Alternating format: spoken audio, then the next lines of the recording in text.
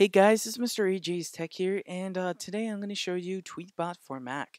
Uh, so this is pretty much the first Twitter client that actually supports the Retina Display MacBook Pro, which is the biggest uh, point that I want to point out because I use the Retina Display MacBook Pro, of course.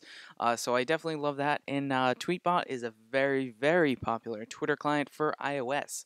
Uh, so this is now available for the Mac and it supports Retina Display for the most part. Uh, so this is an alpha build, so uh, this is actually not even uh, the uh, consumer line, but you can go ahead and pick it up if you have a Mac, uh, available for any Mac, uh, 10.7 or later. Uh, this is currently 10.8, as you can see I have notification center. Uh, so it runs very well so far. I actually have my Twitter already loaded up here. so it actually works very well. This is the public alpha release. you can read more at their blog post. I'll have that link in the description and I'll tell you where to download this.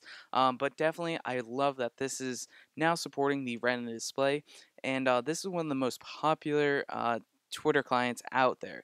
And now that it's on the Mac, uh, a lot of people are very, very excited. Uh, the reason why I'm so excited is that uh, Twitter, as you can see, um, I actually have my resolution on my Retina MacBook Pro uh, set to 1920 by uh, 1200 uh, so that I could record this in 1080p. Uh, but even then, you can see that, that this Twitter client is a little bit blurry, and when I uh, drop this down to Retina display, it gets very, very blurry and distorted. Uh, so you can see right there, Twitter is just an epic fail on the Mac.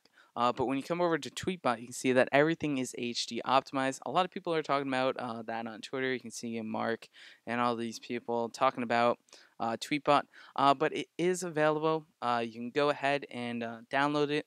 It's somewhat buggy. that's what they've announced. I haven't noticed any bugs yet, but you can see right here that it's running pretty well.